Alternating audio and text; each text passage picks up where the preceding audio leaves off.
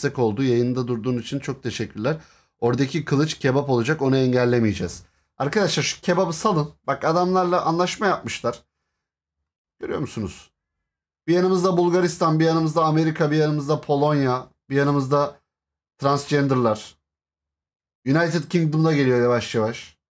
Bir yanımızda da kebap olsun. Kebap Bey. Sırbistan'a çok yaklaşmayın ama. Onlar arkadan vurabilirler.